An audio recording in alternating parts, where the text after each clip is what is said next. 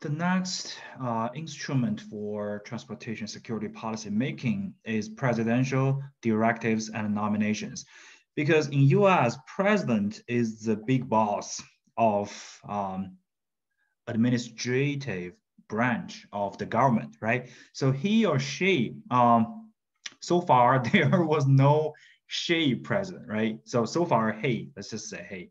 Uh, he has the authority to just assign some people to the leadership, especially cabinet level um, department leadership. Okay, so presidents have a definite role in the legislative process, but um, still some nominations need to get passed by Congress, especially Senate. So, but Congress generally has the last word in the arena. So let's say, also presidential directives are to achieve policy goals, set uniform standards for managing the executive branch, or outline a policy view intended to influence the behavior of private citizens. Okay, so a president can um, issue directives, can nominate people for leadership, and uh, I would say some of these nominations and directives, they need to get passed, like I mentioned before, by Congress, but some of them, um, they do not need the permission of Congress to be effective, to be effective. And uh, let's say two types of presidential directives. The first one is called Homeland Security Presidential Directive. Um, it is used by different presidents. It's not exclusive to one or several specific presidents, okay? Um, uh, uh, record and communicate uh, presidential decisions about the homeland security policies of US. Of course, HSPD is the type of directive that is related to uh, transportation security because transportation security is of course a part of land of homeland security, right? And another type of directives, directives um, is called Presidential Policy Directives, PPDs.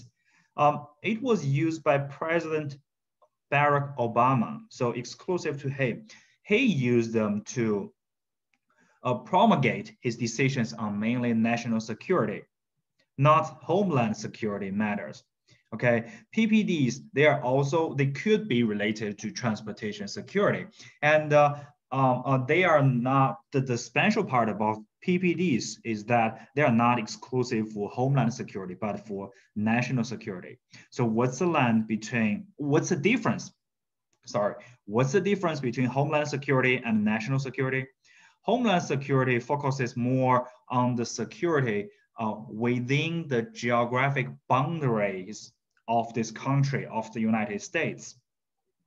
Okay, national security is uh, defined at a larger scale. For example, a US has a lot of um, military bases abroad, right? The security of them should be a part of national security, but because these bases, they are not located in the homeland, not on US soil. So uh, their security may not be a part of uh, homeland security. So that's the difference here. Okay, so uh, two types of um, presidential directives are related to um, uh, transportation security, okay, HSPD and PPDs. Okay, so here are some HSPDs related, specifically related to transportation security. Uh, HSPD 6 established the policies and procedures for developing and using a database of known or suspected terrorists. Okay, so this is um, the, this database can be used to create, to establish something we mentioned before, uh, the pre-screening system, right? Uh, like I mentioned before, it's a blacklist or whitelist system. It decides who can or who cannot or who are not allowed to use um, transportation vehicles. Most likely um, airplanes, but it's also possible for, for, for, trains, for bus buses are pretty hard to control, but maybe for trains and um, definitely for airplanes. Okay, HSPD 11 uh, enhanced terrorist related screening while facilitating the efficiency of transportation systems. Uh, HSPD 13 maritime is about maritime security uh, that establishes US policy guidelines and implementation actions to enhance US maritime safety. Um, HSPD 16 identified threats to aviation security and targets and tactics of terrorists and criminals, outlined the roles and responsibilities within the aviation security system. Okay, and the HSPD 19 directed the Justice Department in coordination with DHS to develop a report on how to more effectively address explosive attacks. Uh, 24 uh, provided a federal framework for applying existing and emerging uh, biometric technologies in screening processes. For example, fingerprint. Um, some more advanced um, technology may use your voice or, uh, or examine your eyes um, to identify your to identify who you are, right? Right? Or um, use specific cars for specific uh, restricted areas, right? Or or a personnel database system to for for restrict, restricted areas in ports in airports right? Um, PPD 17, obviously this one was from President uh, Barack Obama, replaced um, HSPD 19, okay? And emphasized on counting uh, improvised explosive devices, IED. You know, these uh, improvised explosive devices, they are, they are the main weapon used by um, East terrorists to hurt um, military units abroad the US, right? Um, means that um, with very simple um, materials, right, uh, terrorists make bombs, okay? Usually they're attached to a car or to something that is not that important could be ignored by by soldiers by by police but suddenly there is an uh, explosion then characters right? And uh, um, I should also mention that HSPD um, mm, established after 9-11. So uh, this president HSPDs, um, they could be um, uh, issued by President George, George Bush Jr. Um, then who's after that? Uh, President Obama, right? I'm not sure about President Trump, but you should know um, HSPD is something after 9-11, okay? And uh, um, besides presidential directives, there are also presidential nominations uh, because uh, all those leaders in different departments, they are crucial to security, uh, transportation security policy making. Of course, uh, not only transportation security po uh, policy making, but all policy making, right? So uh, the authority to make appointments to executive branch agencies, commissions, and other federal entities. And uh, uh, some of them, like, I, uh, like we have mentioned before, um, presidential appointments requiring Senate confirmation accounting for 33% of all political uh, appointees. Presidential appointments not requiring Senate confirmation, accounting for only 9% of all uh, political appointees. And other political appoint, appointments accounting for 9% of all political appointees. So uh, I would say that um, if, if the, the, the, the, position is uh, more important than others, especially the, the leader uh, of uh, cabinet level departments, then I would say there would be hearings from the Senate, from the Congress right?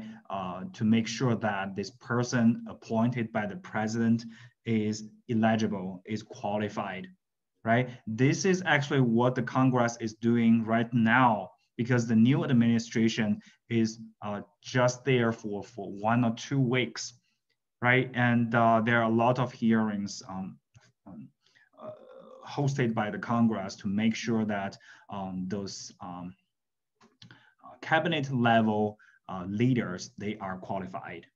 Okay, so you can consider these hearings as huge interviews, right? Right. All those uh, uh, people uh, appointed by presidents, uh, by the president, they are trying to get the job. They're trying to get the job.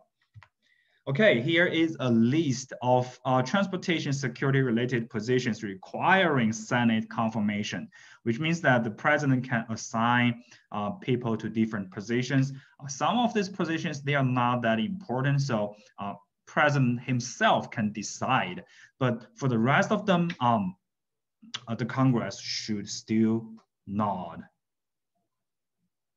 Then those people can get the job. Okay, um, you can say DH, DHS leaders and uh, uh, TSA leaders, they need hearings from the Congress to get the job. Okay, um, they, they, they, they have been appointed by the president, but that's not good enough. And FEMA, right? FEMA, uh, FEMA is also a part of DHS. And what else? Um, yeah, DHA, uh, DHS uh, offices and uh, important offices and the branches of DHS, uh, their leaders need to be um, to be to be interviewed by the Congress, right? Coast Guard, right? Uh, DOT leader, uh, DOT deputy leader, of FAA leader, uh, Federal Motor Carrier Safety Administration, so for land transportation security, right? Railroad Admi Administration, also Pipeline and Hazardous Material Safety Administration. Um, pipeline is actually um, can be considered, pipeline can be considered as another type of transportation, right? Uh, there is no people, but there is cargo, right? Uh, natural gas, petroleum, right? Gasoline they are, I mean, they can be transported by trucks, by trains, but pipeline can also do that. And it's actually cheaper. So I would say, yeah, pipeline is another type of transportation. And Amtrak, a board of directors. Amtrak is the passenger railway system uh, in United States, right? It was created by the government, but now it is it is operated by private companies. Okay, you don't have to memorize them, but you should know that transportation security related uh, leadership uh, can be assigned by United States president. But some, not, some of them need to uh, get passed through the Congress to get the job, okay? To get the job. So the last type of instrument I want to introduce um, that is related to transportation security policy making is called federal regulations, federal regulations. So what are regulations? What's the difference between acts or in another word, laws and regulations, right? So a law or an act is something um, written by politicians, by legislators, and uh, uh, get passed by the Congress and signed by the president okay? But regulations are issued by, by agencies, okay? And uh, uh, regulations is a, is a principal means by which public policy is implemented. So um, all those regulations, they are more specific than laws, right? Their uh, regulations are usually about standards and rules issued by um, agencies with a specific expertise. Okay, laws, they are from Congress, they are from uh, legislators, but the regulations, they are not law. They are issued by different agencies, organizations to, to, to, to make sure a specific policy is implemented. Okay, that's regulation. So the, the, the uh, a, a congressional acts a congressional act requires a federal agency to issue a rule. So the rule here is to support the act, to support the implementation of the policy, right? And, and then a regulation is drafted by the agency, of course, related agency, right? FAA cannot issue a regulation for maritime transportation security, right? So uh, a regulation is drafted by the agency and submitted to related offices for review, for review. And then publication of the regulation in the federal register no less than 30 days before it is to take effect. Okay, so basically uh, there is firstly law or act. Then this act or law requires uh, specific rules to make sure the policy is implemented through these rules. Okay, then a federal agency or several agencies, uh, they need to write rules or uh, say regulations. And then uh, these regulations are reviewed, are reviewed and then published. Okay, so for example, maritime security regulations. Most federal maritime security regulations are contained in Title 33, Chapter 1, Subchapter H of the Code of Federal Regulations. So CFR is, um, is the code of US government to, to, to, to, to issue regulations, okay? And designated to implement the Maritime Transportation Security Act of 2002. So the relationship is here. So uh, Title 33, Chapter 1, Subchapter H of the CFR was established to what? To implement MTSA. So you can see this is like a funnel. The top of the funnel is the law, and the law is broad, right? Law laws define uh, something you cannot do, but there is no specific rules or standards then um, related uh, agencies, they need to, to, to, to, to issue, to write and publish regulations to make sure that uh, the policy um, created by this law is more specific It's specified with standards and rules. So this funnel is getting narrower and narrower, right? And then you have to follow these regulations. When you follow these regulations, um, you're not going to violate associated laws. Okay, so that's the relationship between regulations and laws. And um, I need to mention this again. Uh, laws can uh, laws have another name in US at least. They're also called acts, ACTS, right? Okay, aviation security regulations. Uh, the regulations are found primarily in chapter uh, that's 12 chapter 12, uh, subchapter, subchapter C of Title 49 CFR. Okay, okay. But the passenger aviation security fees are located in subchapter A. So um, it's complex, it's complex. And land, sec land security regulations um, promulgation of federal rules for land transportation has been more limited and less coordinated compared to uh, maritime transportation and aviation regulations and aviation. Uh, regulations of land transportation security uh, can be found in chapter 1, 2, 3, 4, 6, 7, and 12 of Title 9, Title 49 CFR, Code of Federal Regulations. Because land transportation um, mode is more complex than maritime and aviation. Okay, and compared to aviation uh, and maritime security, um, or say compared to aviation transportation systems and maritime transportation systems, at least in US, land transportation systems, they're less likely to be attacked okay? Uh, uh, only in us okay? But around the world uh, land transportation uh, land transportation systems are still largest targets for terrorist attacks.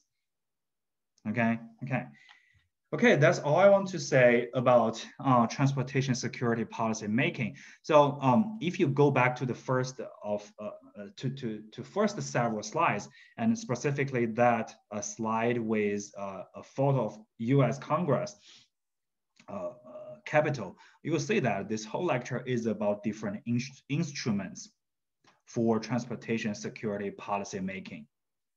Okay, uh, I will just stop here. And for this week, I will just use another video to give you a brief review for what we have learned so far and what you need to know for the exam uh, on next Tuesday. Okay. Uh, yeah, I'll just stop here. Okay. Thank you.